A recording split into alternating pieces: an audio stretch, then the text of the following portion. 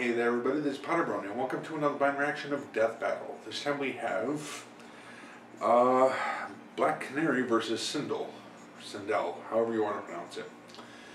Uh, I'm sure I'll find out in a minute. Now, as you can tell, I'm not in my normal circumstances. I am currently in, as I said before in previous videos, in a hotel in Texas, here for work. Uh, but figured, you know, keep up with some small things anyway. Uh, so I don't have a rush on like the one day off I have when I get home. Uh, so yeah, as always, be sure to support the official release. The link to the original video is in the description below. And let's just get it started. Oh, and I forgot my connector cable to the other headphones, and these are the only ones that I had with me, so what can you do? Uh, yeah. And start the video in three, two, one, and go. RTX is inspiring. inexperienced, spectacular. Amazing. I love seeing everyone who's so passionate about Rooster Teeth and the community that I grew up with, and to see them all in one place.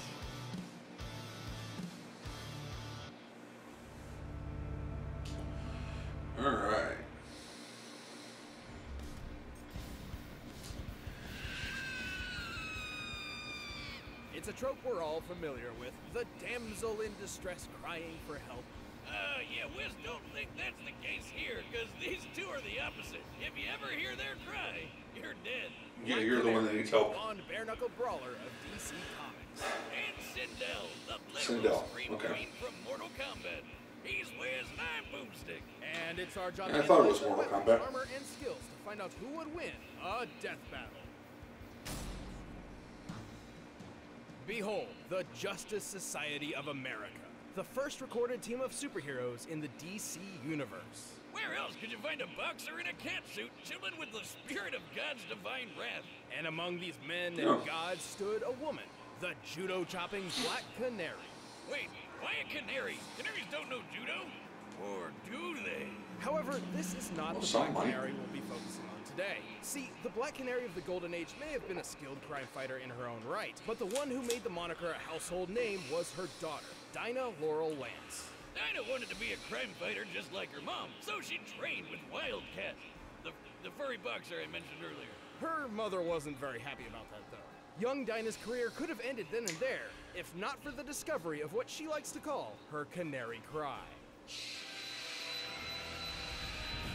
Yeah, it's uh, painful. but well explained. See, Dinah possessed the meta Well, you'll have to- a dormant slice of genetic code present in about 12% of humanity, Excuse granted sounds superhuman abilities. Yeah, Wizard right did it. by the With her new power and martial arts training, Dinah took up her mother's mantle and became Black Canary, the second one. Is it weird that her mom was also named Dinah? They're really forming a dynasty. Fun fact, originally she disguised herself by donning a blonde wig, but eventually just dyed it permanently. Blonde? Don't you mean yellow? Uh... Yeah, that one was Regardless, the canary cry is no joke. By emitting focused ultrasonic sound, Dinah can annihilate the eardrums of anyone nearby. Or just ramp up the volume and blow people away with shockwaves. She can even stop a runaway train. It's quite versatile too. She can focus her cries into small sonic projectiles or broaden them to affect entire cities. And by screaming hard enough Well, at the ground, she can freaking fly. How the hell does that shit work? Let's dig into this for a bit. For a sound wave to become a shockwave, it must possess an intensity of at least 194 decibels. For reference, Black Canary's highest recorded scream clocks in at over 300 decibels. That's the same level of bulls as a volcano erupting. All that power comes with a fairly obvious weakness, though. If her throat is damaged, she'll be unable to produce the cry. That's why she's got some Naturally. nifty ultrasonic canary bombs that do the super shouting for her. Not to say she's useless without her superpower, of course. She's one of comics' greatest ass kickers. Thanks to Wildcat and her mother, Dinah has trained in jujitsu, karate, Krav Maga, capoeira, and many, many more styles of martial arts. She knows holds that can put you to sleep, a punch that can detonate your heart, and even how to cause instant death by pushing a single nerve cluster. She's basically the furious, blood-soaked love child of Kenshiro and the bride from Kill Bill. Yeah, I was thinking the bride from Kill Before Kill we go on, all this kung fu talk makes me want to see a judo canary. So I'm not sure who's gonna win this one. I'm not sure what, uh, own Mecha Goose Howard. Uh, did you teach it judo? So, uh, Uh-huh. turns out they don't know judo. Where was the heads up on that one, Wiz? Even Well, with all that, Dinah's greatest strength is perhaps her uncanny ability to learn and adapt mid-fight. It's what makes her such a great sparring partner to superhuman martial arts masters like Wonder Woman. It was during a fight with her, in fact, that Black Canary claimed she could perceive time down to the nanosecond. Sounds crazy, right? But believe it, how else could she keep up with someone like Wonder Woman? Or how about the time she battled these mm. red tornado androids? Green Lantern was using his power ring to scan for weaknesses, but Dinah said F that and stabbed it hundreds of times super fast. She found its literal Achilles heel before the power ring finished And it's in the heel. That's right, she outsped an alien supercomputer. Keep in mind, Dinah does not technically possess superhuman speed or strength. But I wouldn't be surprised if she secretly drank some super soldier serum at some point, because she can outmuscle superhumans and smash steel like it's flimsy wood. Given the yield strength of steel and the size of her elbow, Dinah must have exerted a force of around 27 tons. The gal Damn. survived a fall into the ocean from a thousand feet, and even her own canary cry reflected back at her. It helps that she has a special membrane in her ears that protects her from shockwaves. Can't say the same for this robot dude, Amazo. For a murder-happy android with the combined powers of the entire Justice League, he sure could have packed some aspirin. She may be stubborn Yeah, and that's a but with her powers headache right there. fine-tuned, Dinah proved her had mom a wasn't migraine that the bad. Black Canary to be reckoned with. She even teamed up with groups such as the infamous Birds of Prey, and at one point took charge of the Justice League, the spiritual successor to the original Yeah, Justice Birds of Society. Prey. Next to her main man, Green Arrow. They spent a lot of time sticking arrows in that quiver. Uh, if you know It what I didn't go mean. well, apparently. They did Zach. Long story short, Black Canary Yes, is I without guess doubt they one of the most badass women in comic book history.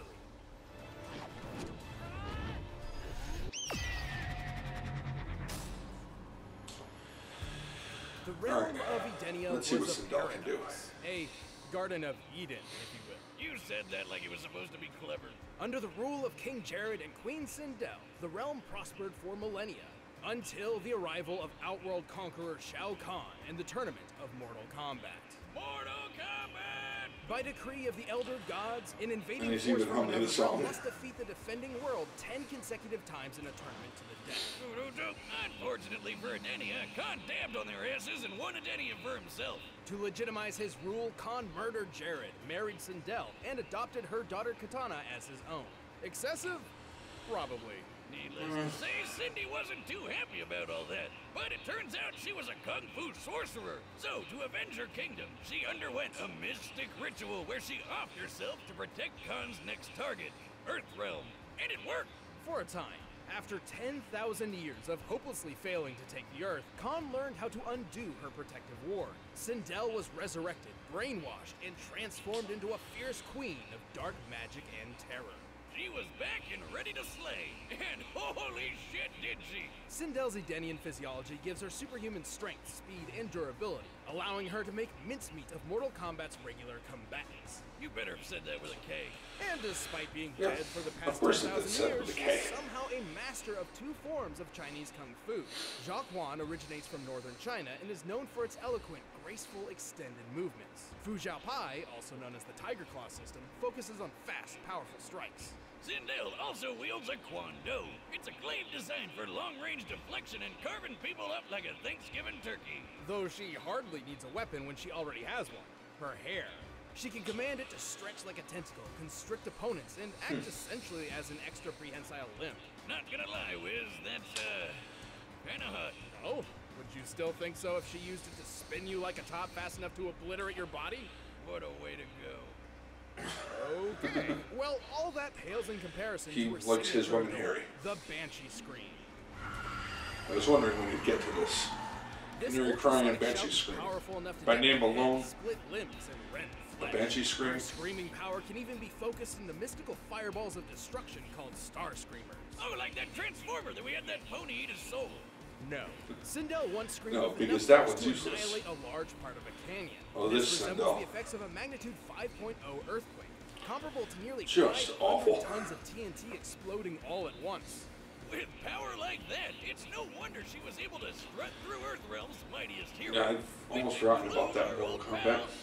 The first one wasn't bad, But I kept but it as a souvenir. who, along with most of the series combatants, can shatter a block of pure diamond with his bare hand.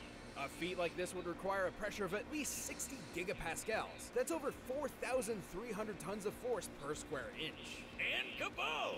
Who was fast enough to swat machine gun fire out of the air, like the flies in Boomstick's bathroom. Accurate. Judging by the likely muzzle velocity and rate of fire, Kabal must have been reacting within six hundredths of a second in order to consistently parry these bullets. And he blocked a bunch of them back to back to back. Too bad Sindel wound up getting blown up and brainwashed all over again. Man, this chick can't catch a break, though the zombie mill thing's kind of working for her. Well, that's only one possible timeline. In the original story, she was actually freed from Shao Kahn and regained control of Edenia. In another, it seems the killing of her royal husband was actually her plan all along. Either way, we're talking about Mortal Kombat. They all die eventually. But compared to the Queen, everyone But else then they also might survive insane, insane attacks. Uh, I think Sindel's gonna have the edge on this one. I guess we'll see. All right, the combatants are set, and we've run the data through all possibilities. But first, we'll tell you about Hims. This episode of Death Battle is sponsored by Hims. Hey guys, there's a company out there to help you look your best every day. Oh, the clothing Hims. stuff, yeah, yeah. Did you know that 66% of men start to lose their hair by age 35? I've Or done hair. research on this myself, and, well, it's Oh. true and terrifying. I don't have to worry about that, if genetics have anything to say about that. Keep it where it belongs is to do something about it while you still can. Grab this new year by the follicles. Here's to a year of personal growth with Hims Prescription Solutions backed by science. It may if go yours, uh, white, here, also perfect based on you. genetics. Yes, Hims Dad. knows some conversations are easier to have online than off. So, Well- with them, you can connect to a real doctor online. And should you be prescribed, it's shipped right to your front door. Dive into 2020 hair first. Right now, get started with your first month free. Go to forhims.com Actually, this is still more salt and pepper, death so. Battle. Prescription requires an online consultation with a physician who will determine if a prescription is appropriate. Offer valid only if prescribed. Three month minimum subscription. Additional restrictions apply. See website for full details and important safety information. Remember, that's course, he's also 65 years old, so- But right now, it's time for a death battle! Alright. Going the old school style.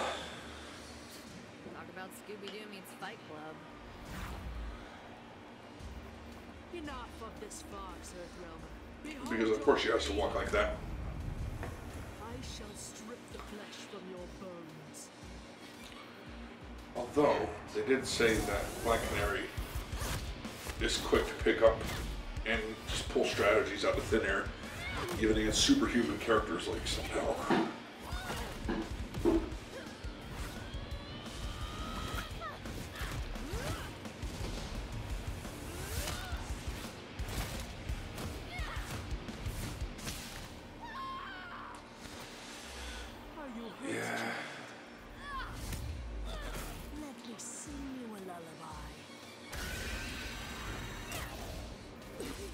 Course, she's got that special memory.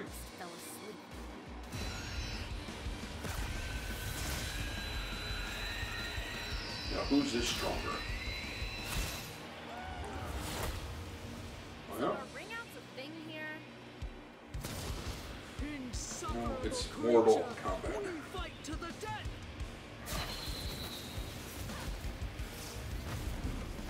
you can do tricky things with your voice too, can't you? Of course, how are you moving like that with your leg? Sheer will. Such a pretty bird with such an ugly song. Tell me, can you fly?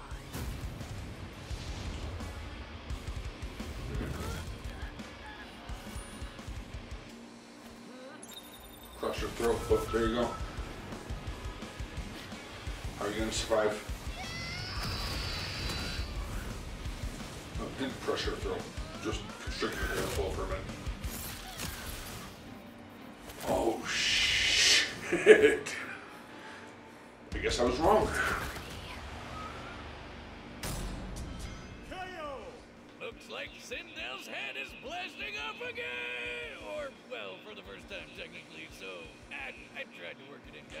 This battle was a curious I don't know why you tried. For the most part, Sindel's physical strength, projectiles, This and has nothing to do with aerial Pokemon. maneuverability let her keep up with the bird of prey. Yeah, she was 160 times stronger. But Canaries made a living off fighting superhumans who are even stronger than that, like Mammoth and Giganta. So I guess that wasn't that big of an advantage, really. Comparing Kabal's bullet timing to her nanosecond reaction, Dinah's reaction speed was easily 60 million times faster. And with her wide array of martial arts abilities, she certainly capitalized on this. Sure, Sindel had some awesome moves, but sadly, stepping on people like a hot dominatrix doesn't quite stack up when Black Canary mastered way more fighting styles. Plus, she's been That's training all her life. Edenia was super peaceful before Shao Kahn came along, so I doubt Sindel was taking names and kicking ass all before that. But let's move on to the comparison everyone wants to know. Which was deadlier, the Banshee Scream or the Canary Cry? I do want to We know, know. Dinah's cry could reach 300 decibels. In comparison, the results of Sindel's most powerful scream are similar to a 5.0 earthquake, which is equivalent to only 235 decibels. I know what you're thinking. That's a difference of only 65 decibels. That can't be all that different. Wrong! you'd be surprised what totally 65. Because decibels are freaking weird. See, decibels are not like meters or minutes, which scale geometrically. Instead, decibels scale logarithmically. For every 10 decibels a sound is, its intensity increases tenfold. So 30 decibels is 10 times greater than 20 decibels. 40 is 10 times greater than 30, and so on. So, every increase multiplies the sound instead of just adding to it. Well, damn. That means the I didn't know that part. About a million times stronger than the Banshee Scream, nearly 500 megatons of TNT. Awesome. The closest real life comparison we can make is the Krakatoa eruption of 1883. A volcano blast so powerful it could be heard over 3,000 miles away. Not so different from what Dinah has been shown to be capable of. It also didn't hurt that Canary had those special membranes in her ears to guard against Sindel's scream. In the end, Canary had the speed, skill, and raw decibels to finish her. It was Sindel's time to die. Nah. What, no pun about screams? Well, I was gonna, but I thought a pun that obvious wouldn't be allowed. The winner is Black Canary.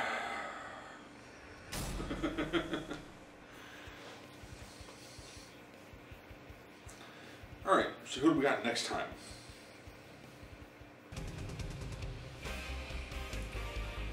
Ninja Turtles versus Power Rangers.